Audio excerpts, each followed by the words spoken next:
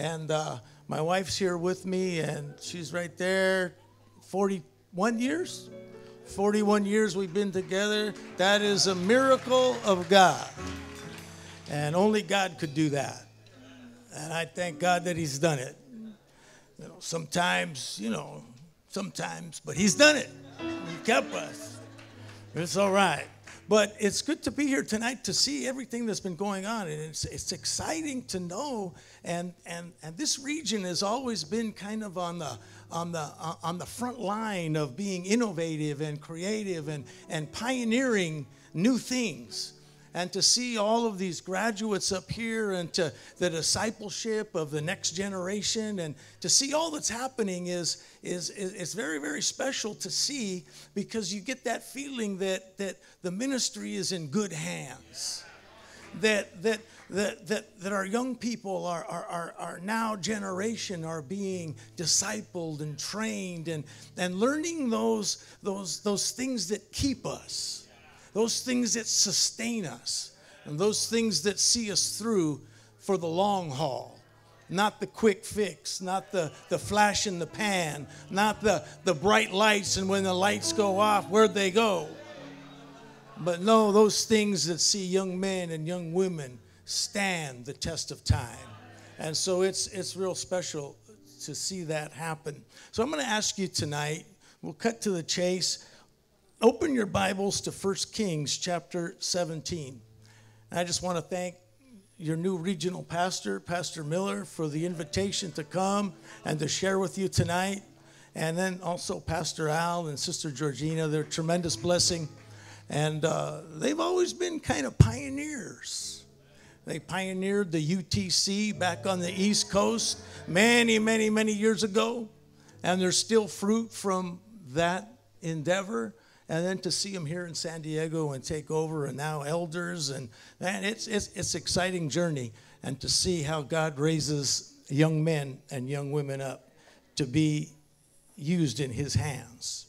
So, First Kings chapter 17, I just want to read one verse right there, verse number one. And I'm reading out of the New King James Version. I don't really like it, but it's what we got tonight. And it says, And Elijah the Tishbite of the inhabitants of Gilead said to Ahab, As the Lord God of Israel lives, before whom I stand, there shall not be dew nor rain these years except at my word. Let's pray. Lord, we thank you tonight for your presence here, and I pray that you will speak clearly and distinctly to each and every one of our hearts, and that, that we would be attentive to what it is you desire to lodge within our spirit. Let that word resonate loud and clear. We praise you and we love you in Jesus' name. And everybody said, Amen. Amen. Turn to that person next to you and say, And now. The New King James Version says, says and it says and. And the New International Version says now. And I don't know what version they had up on the screen, but it says now and it says and. And I want to look at a man tonight. I want to look at a person tonight whom God used powerfully. That I want to look at, at what was it about this man that he was able to, to, to speak the word of the Lord. Thus saith the word of the Lord, and the heavens were closed. What was it about this man that was able just to speak the word and, and, and the rains came? What was it about this man? What, what, what was it that, that, that was in him that he was able to call fire down from heaven? What did it take and what, what, what, what happened through this man that he was able to slay all of the prophets of Baal, the idolatry and the, the sin that was happening in a nation? What was it about this man that, that, that he was able to disciple and to train and to pass off the ministry of, of prophet in the nation of Israel to a young man named Elisha. And then the culmination of his life was seen that he joined the Lord Jesus Christ on Mount Transfiguration. Only one of two, but he's there. What was it about this man? What was it that took place within his life? What was it that made him that person and brought about those characteristics and those things in his life? And that's what I want to look at a little bit tonight. What was the secret of Elijah's power? What was the secret of his life that unleashed the power of God through his life, that at his word things happened? That at his word change took place. At his word, the power of God moved mightily in a nation that desperately needed it. And as you read a little bit of the history of First Kings, it tells the story of the spread of idolatry through 13 to 17, that idolatry and sin and rebellion had spread throughout the land and that there was there was the the uh, the kings the leaders of the nation brought in all of these idolatrous practices they allowed these prophets to rise up and to speak false prophecy to deceive and to to take a nation in the wrong direction it's almost depressing to read to see God's people affected and infected by the idol worship of their kings. It almost feels like as you read, you it's like it's an end of any possibility and any hope of worship of God Jehovah being revitalized and reestablished in the nation of Israel. But you know, there's a miscalculation. When man has done his worst and finished, that's when God comes and he begins to do his work. You know, F.B. Meyer said in his book that, that not so good for his enemies, but filled with hope and promise for his people. And, and Elijah spoke. And he said, what was it about Elijah that, that, that, that turned up the heat? because there was 7,000 prophets of Baal that, that or 7,000 prophets who had not bowed to Baal. But where were they? They were, where, where, where were they? They couldn't be found in Israel. But this one man stood up and he was counted for and he stood and, and represented God. He stood between heaven and earth and proclaimed the message of the gospel. He was, Thus saith the word of the Lord. The other 7,000, they were paralyzed by fear. They were they they were they they stayed quiet. They never took a public stand. They were silent with fear and they just went with the flow. And that's like many Christians today. You never know they're believers. You never know they're, they're Christians. They've just blended in with society. They never stand out. You never, you, you, you can never identify them.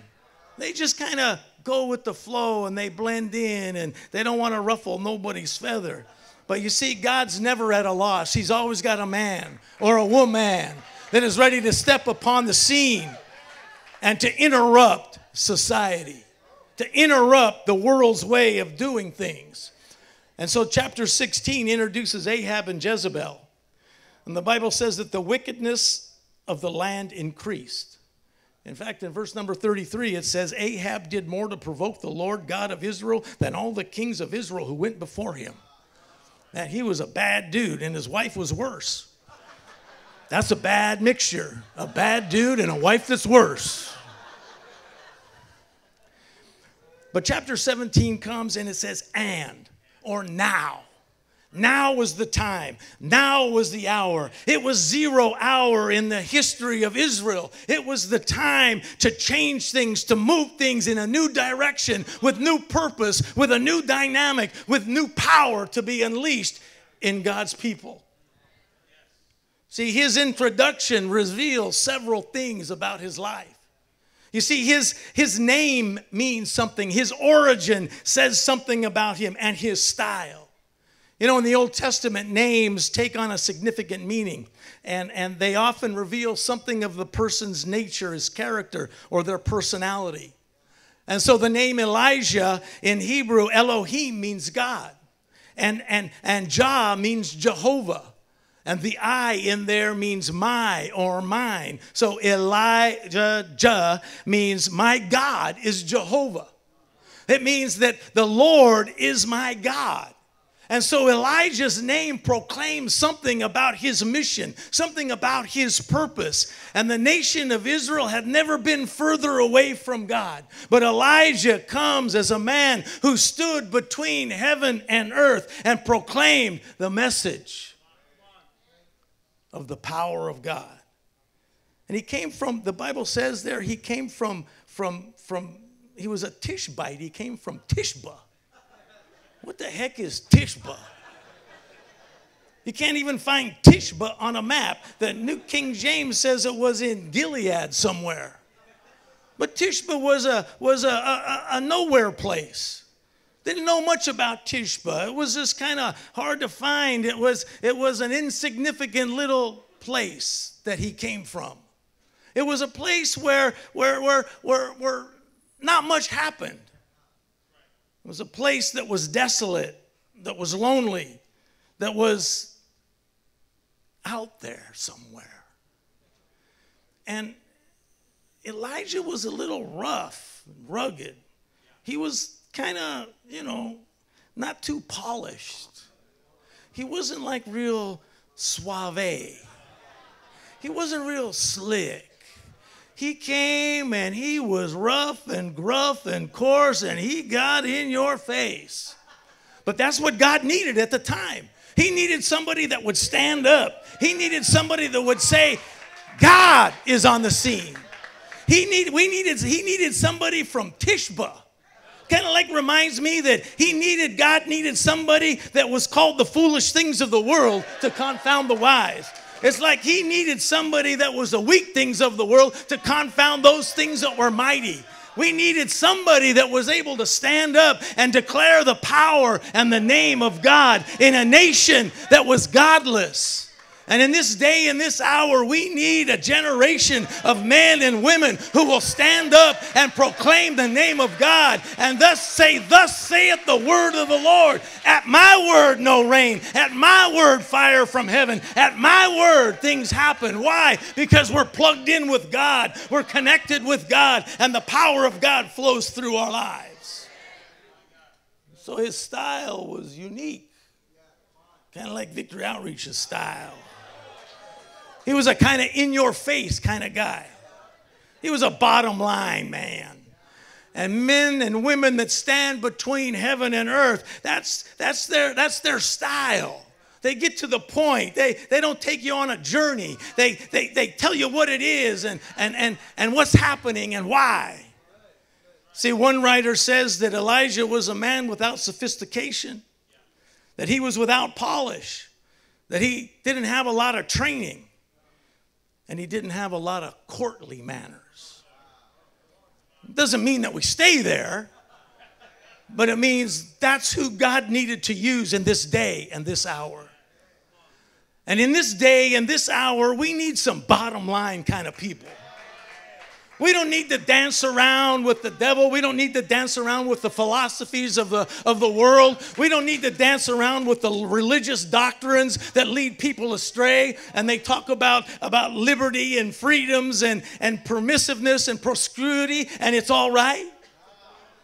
No, no, no. We need, we need men and women who will get to the bottom line and call it like it is. Elijah delivers the goods. He, he comes on the scene and he says, No rain except at my word. Why could he proclaim that?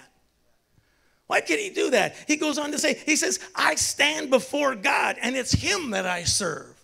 That's where he got his confidence. That's where he got his, his, his power. That's where he got his boldness that he stood with God. He was next to God and he served God.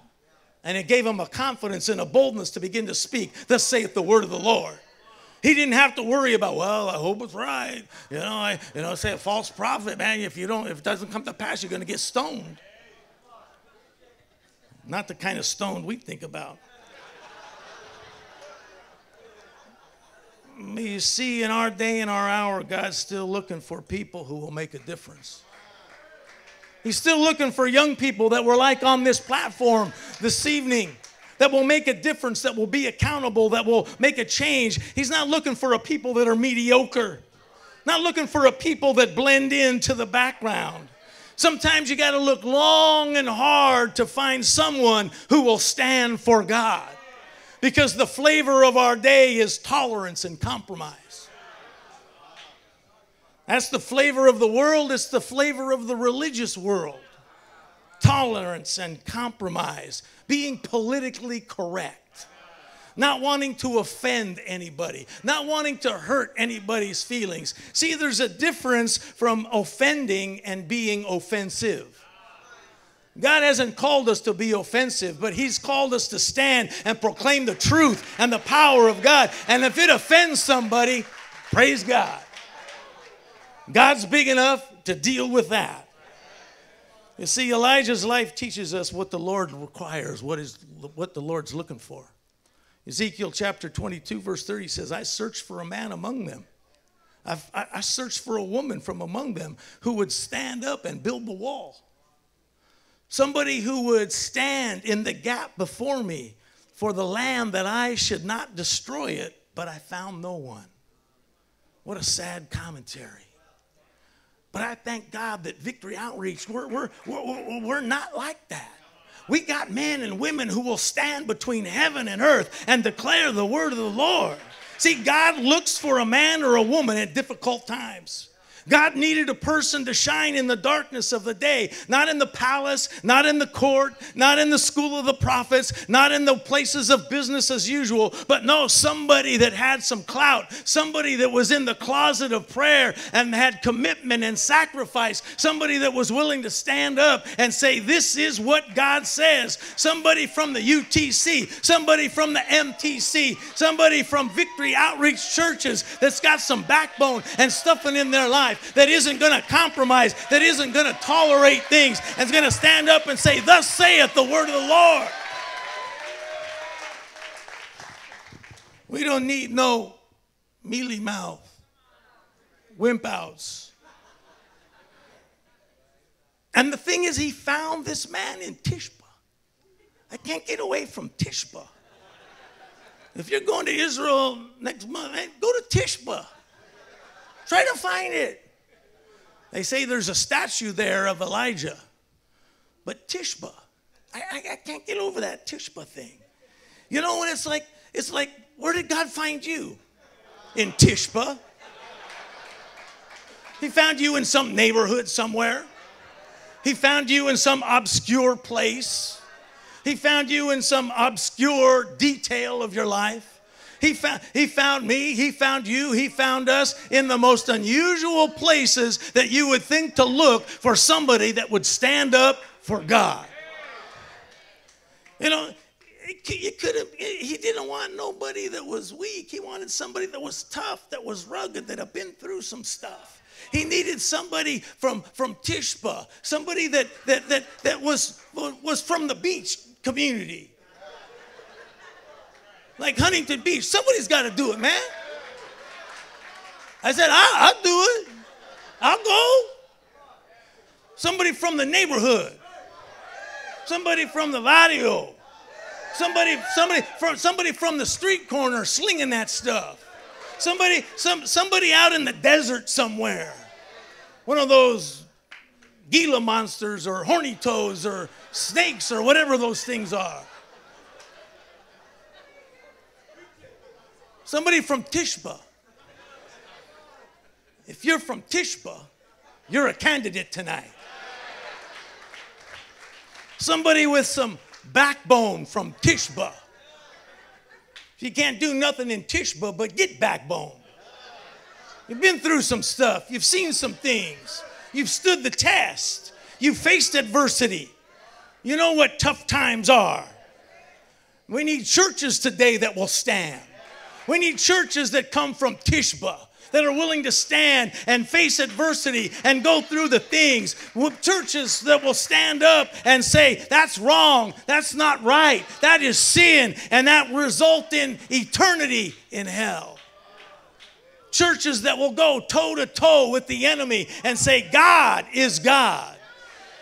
And people in those churches who aren't afraid to stand and do battle with the enemy. See, we live in a day and an hour of, of, of desperation. We live in a time where God needs people. God needs men and women who will stand for the things of God. Not be like the 7,000 that were just kind of in the woodwork. Not like the 7,000 that just stayed silent and went with the flow. Not the 7,000 who were just there when the lights came on. Not just the 7,000 who were there when, when it didn't count. But the 7,000 were, were hiding. God needs men and women who will stand alone if need be. Men and women who will stand tall, stand firm, stand strong.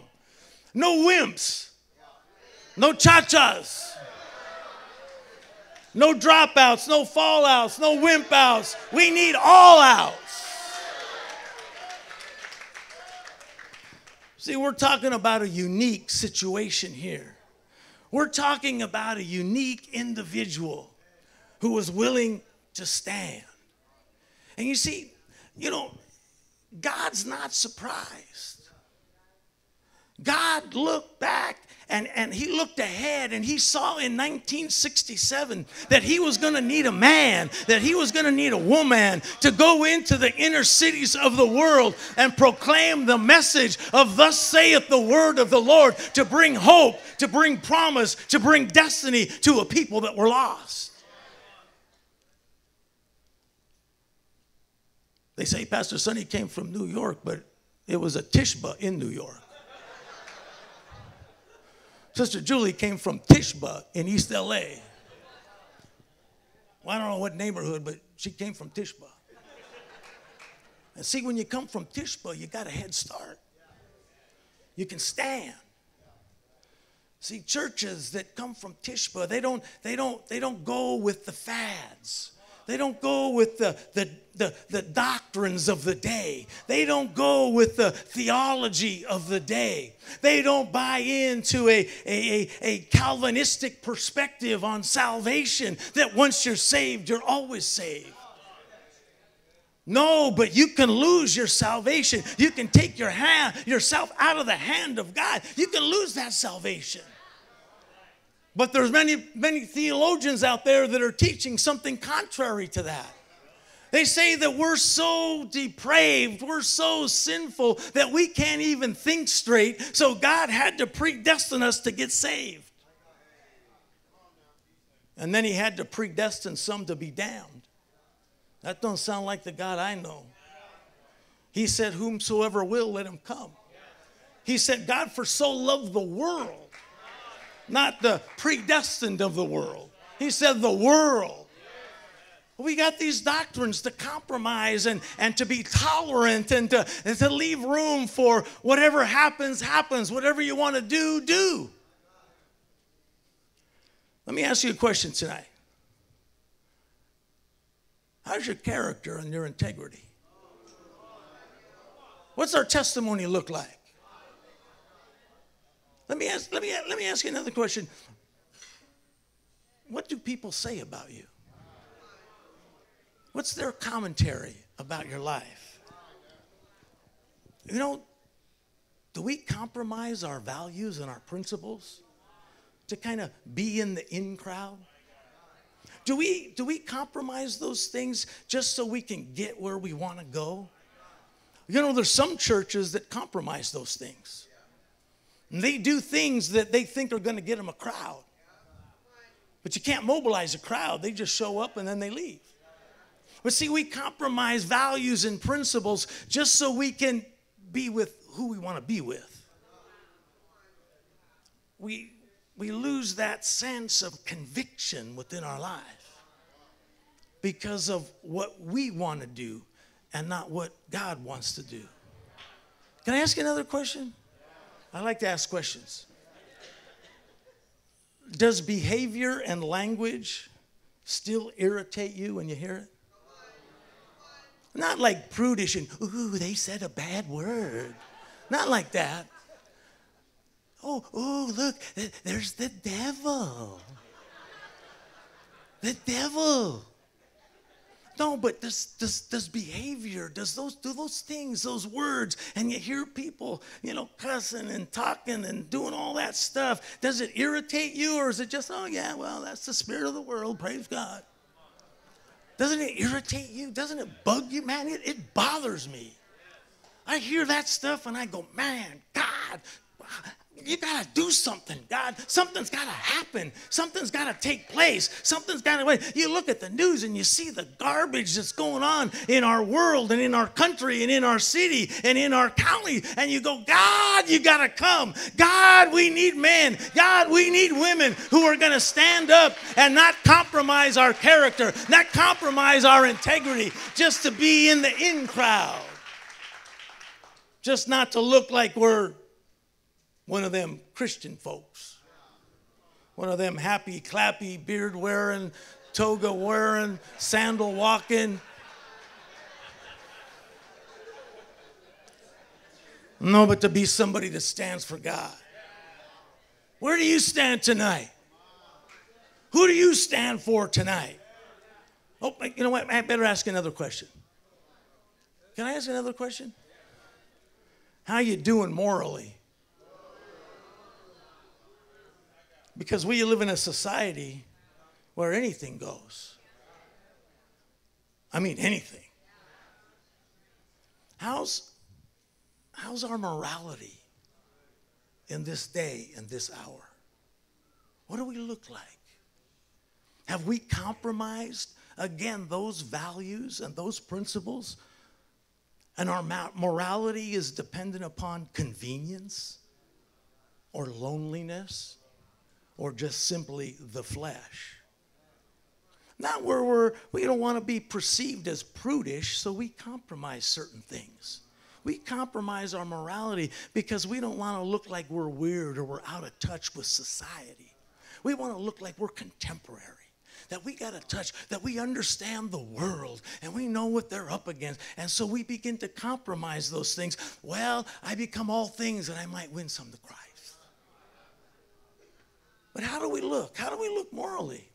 What about churches? You know, churches tolerate certain things within their church. They tolerate this, this, this, this spirit of the world, this, this, this morality and immorality for the sake of convenience and understanding people are lonely and everybody needs somebody and God's got a rib for you and you know you just got to go find it however you can find it solve the loneliness of your flesh. I, you know, I, it's like, where do we get all that stuff? How do we, how did we, how did we fall into that trap? How does, how does the church and Christendom and the kingdom of God, how, how, how do they get caught up in all of those things? Where are the men? Where are the women that will stand for God? Where are the men and women? Where are the churches that will declare, Thus saith the word of the Lord? Where are the Elijahs of today? See, God's methods are surprising. You never know what He's going to do. God didn't raise up an army. He didn't send some noble or prince or king or whatever to impress everybody. He, he, he, he, he chose an Elijah, somebody unusual, somebody not normal, somebody from Tishba. Somebody that dared to make a difference. Somebody that had realized what he had been saved from. Somebody that realized that, that growing up in Tishba was just the beginning and not an end that growing up in Tishba opened doors before him, that made a way before him, that God was able to reach down and grab a hold. And Elijah never forgot where he came from. He was, he, he was different, he was unique, he wasn't normal. Victory Outreach, we're not normal. People look at you and me, they look at us and they say, wow, them people are weird. Well, if we're weird, let's be weird. Let's be different.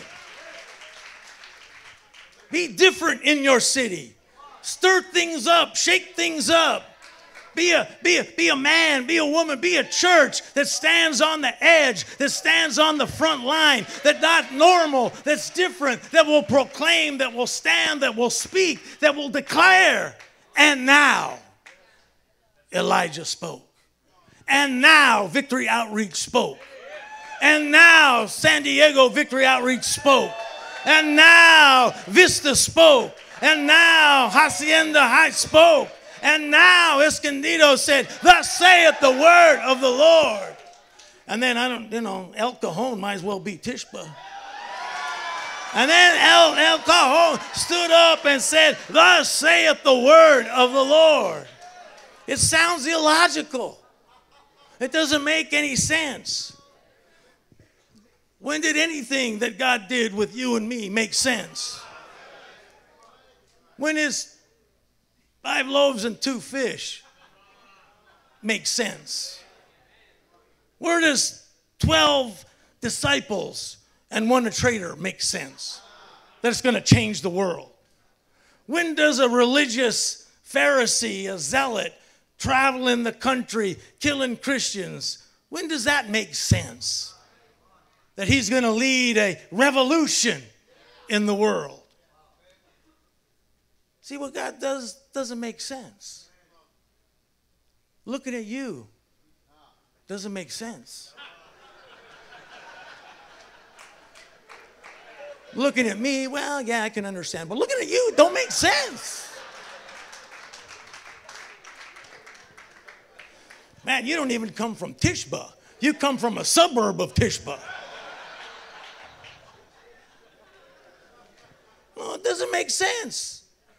Using somebody like me. When I first came around, some of you heard me say it, it was brown, browner, and brownest.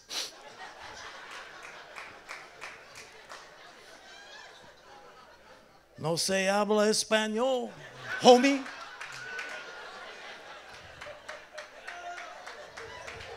It wasn't normal. This bottle of milk in the midst of iced tea didn't make any sense.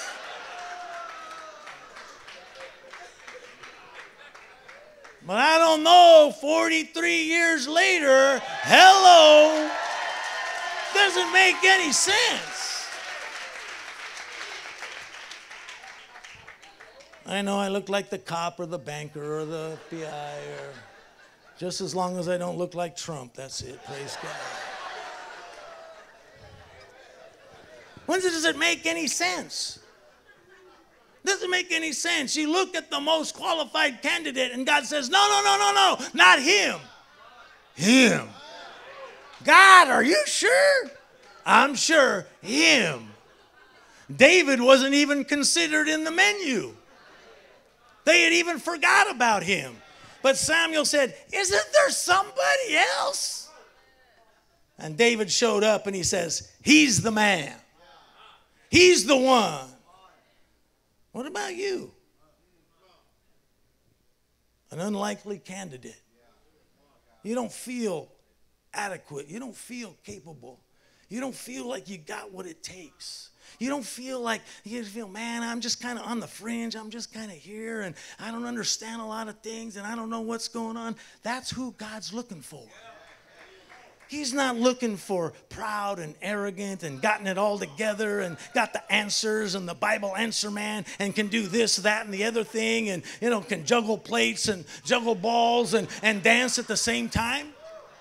He's not looking for those kind of people. He's looking for people that are dependent upon Him to move through their lives and let His power be exhibited for the world to see that it's different, it's unusual, it's not the same, it's not business as usual.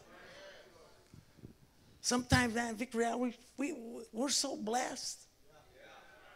We're so blessed. Could you imagine if we were all like all that stuff? I know we got folks that are like that, but you've been radicalized. We got folks that have come from, you know, Tishba, but uptown Tishba. And that's cool. But you've been radicalized. You got the spirit of Tishba in you. You got the spirit of victory outreach in you. You got a little radical in you. You got a little, come on, let's go. You got a little, thus saith the word of the Lord in you. After all, what do we got to lose? See, God's looking for you, for me, for people like us. The most unlikely person, the most unlikely candidate, the most unusual one now, don't go out and be all weird. No. I'm unusual, God. Look at me. Here I am. You know, don't develop a twitch or an itch or a.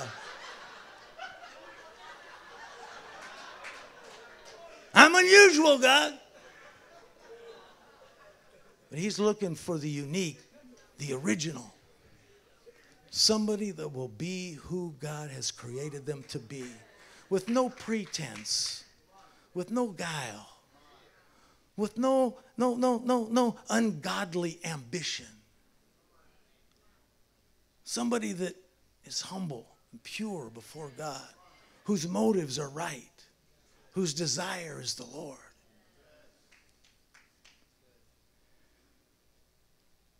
How can we stand alone for God?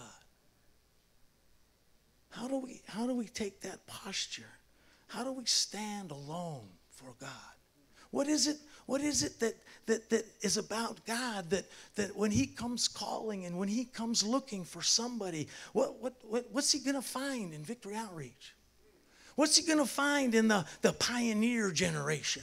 What's he going to find in the now generation? What's he going to find in the next generation? When he comes looking, when he comes calling, what will he find? Will he find in us a ready and a willingness to stand for him?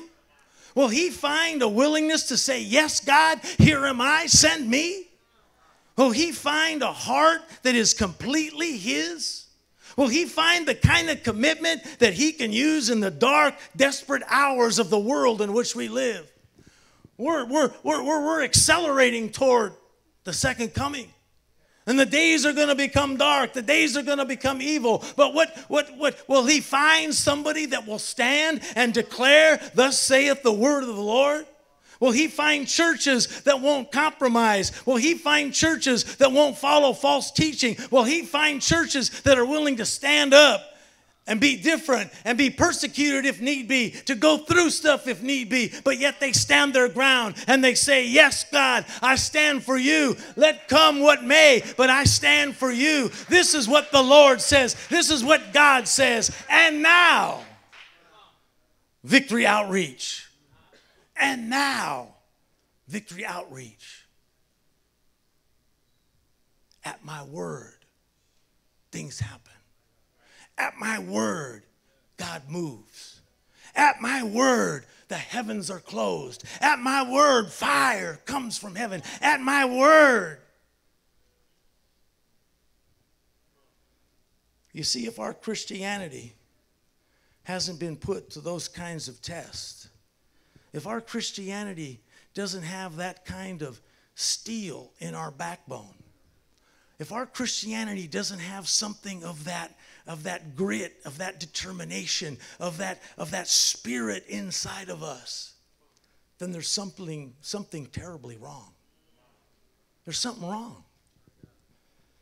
You know, thank God we got UTC, MTC, ABC, FYG. Thank God we got all those things. But see, if it doesn't produce the backbone, if it doesn't produce the convictions, if it doesn't produce a life that is not going to compromise, that is not going to accept immorality, is not going to violate the values and the principles.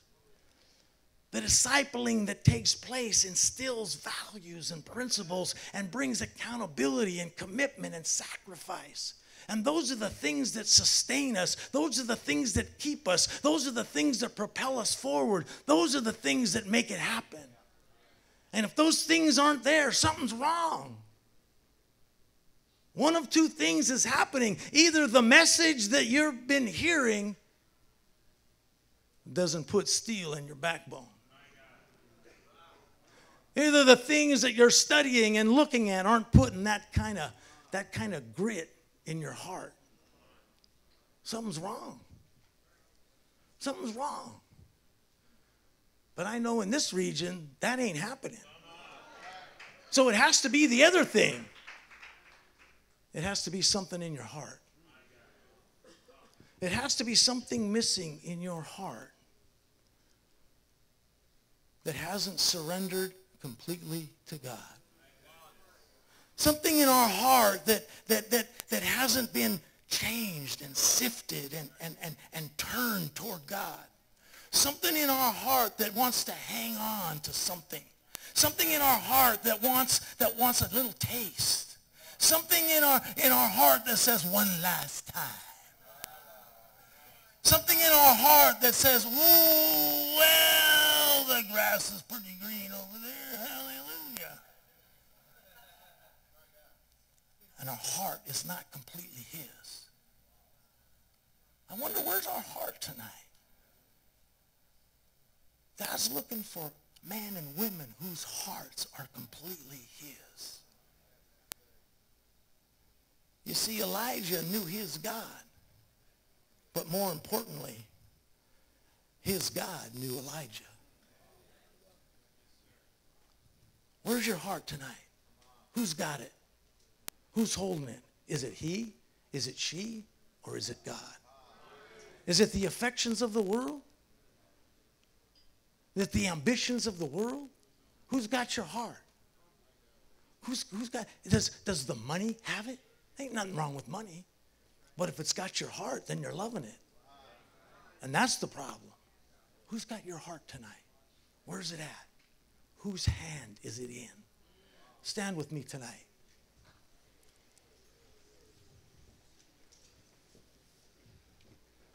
Just every head bowed and every eye closed.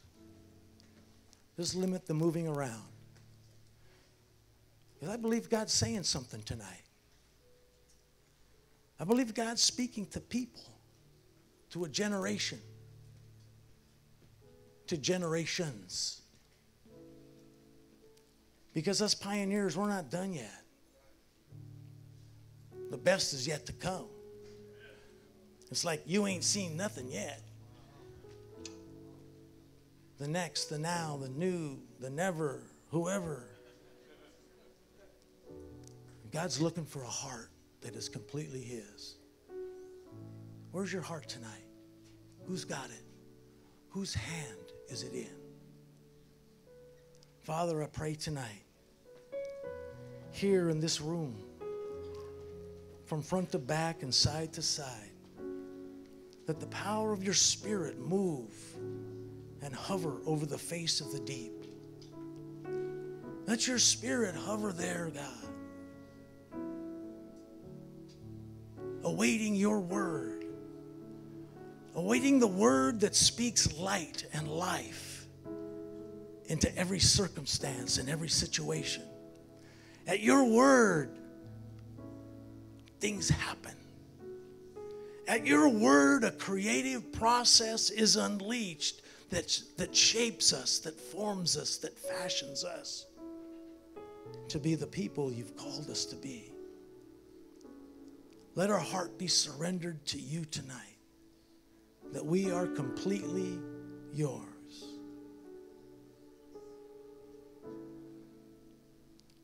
From all over this room tonight, we need the spirit and the power of Elijah. Victory Outreach, we need that spirit. Not just the men's home, not just the women's home, but Victory Outreach, we need that spirit if we're to sustain and to continue to move this vision forward, we need that kind of spirit. We need that kind of heart. So, from all over this room, I want to invite you to come. I want to invite you to come. I want to invite you to come. I want to invite you way back there. I want you to come. I want you to come and I want you to let God put something inside of you to let God capture your hearts tonight, to let God get a hold of us tonight in a new way, in a new dynamic, with a new power to be unleashed within our lives. I want you to come. You that are willing to stand, you that are willing to say, At my word, thus saith the Lord.